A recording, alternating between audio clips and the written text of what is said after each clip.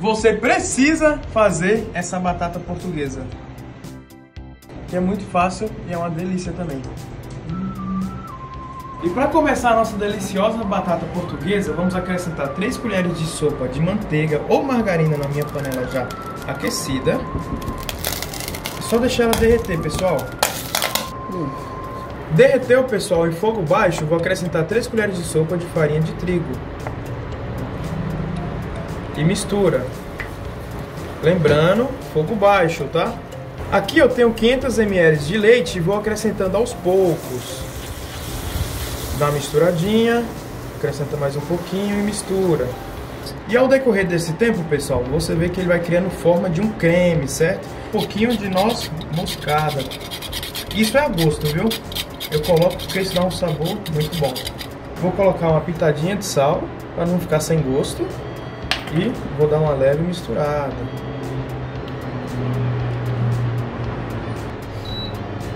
Agora vamos misturar aqui, pessoal, até ele virar um mingauzinho, certo? Já eu volto e mostro para vocês o ponto. Esse é o ponto, certo? O que, que eu vou fazer agora? vou acrescentar 50 gramas de queijo parmesão raladinho. Isso também é a gosto. E vamos misturar. Deixa eu rapar aqui, ó.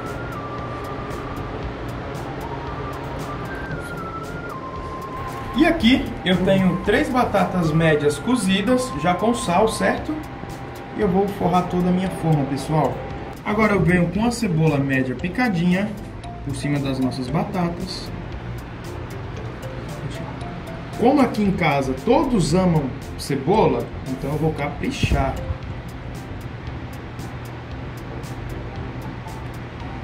Venho com um pouquinho de chimichurri também a gosto. E por cima eu venho com meu creme branco, olha que lindo pessoal. Hum, o cheiro tá perfeito.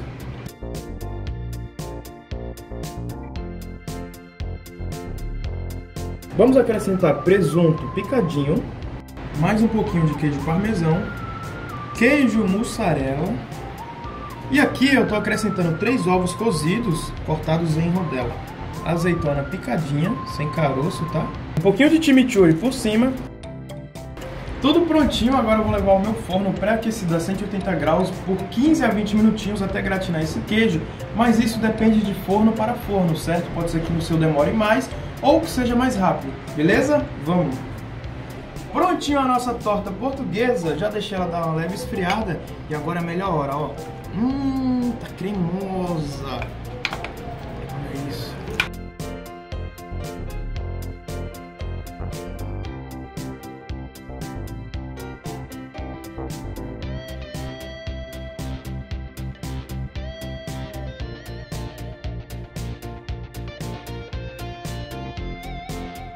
Pessoal, tá uma delícia, de verdade.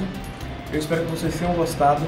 Muito obrigado por assistir, um beijo, até a próxima e tchau!